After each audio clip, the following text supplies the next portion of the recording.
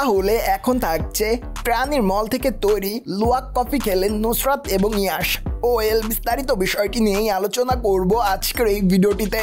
So let's move on the main video Luwak coffee পৃথিবীর সব থেকে দামি কফি হিসেবে পরিচিত এটি। অথচ এই কফি তৈরি হয় প্রাণীর মল থেকে। এদিকে লুয়াক ফলের বীজ সর্বপ্রথম খাওয়ানো হয় গন্ধ গোকুল প্রাণীকে।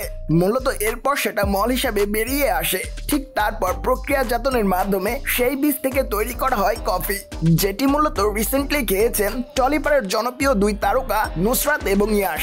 এদিকে বর্তমানে ইন্দোনেশিয়ার জঙ্গলে ঘুরে বেড়াচ্ছেন নুসরাত এবং ইয়াশ।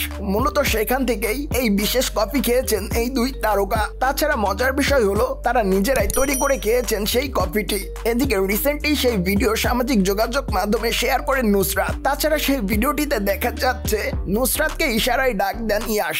নুসরাত আসেন এবং হাতে ধরেন লুয়াক গাছের ডাল। ঠিক তারপর ওইদিকে ইয়াশ চলে যান গন্ধ গোকুলের খাঁচার সামনে।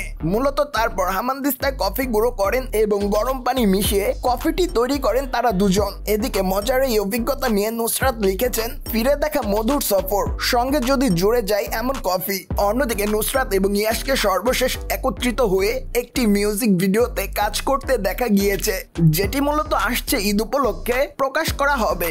সো ভিউয়ার্স জেনে তো নিলেন, এবার প্রাণীর মল থেকে তৈরি লুয়াক, কফি খেলেন নুসরাত এবং ইয়াশ আর এই বিষয়টি নিয়ে যদি আপনাদের কোনো মতামত থাকে, তাহলে অবশ্যই আমাদের কমেন্ট বক্সে জানাতে ভুলবেন না। And subscribe our channel for more update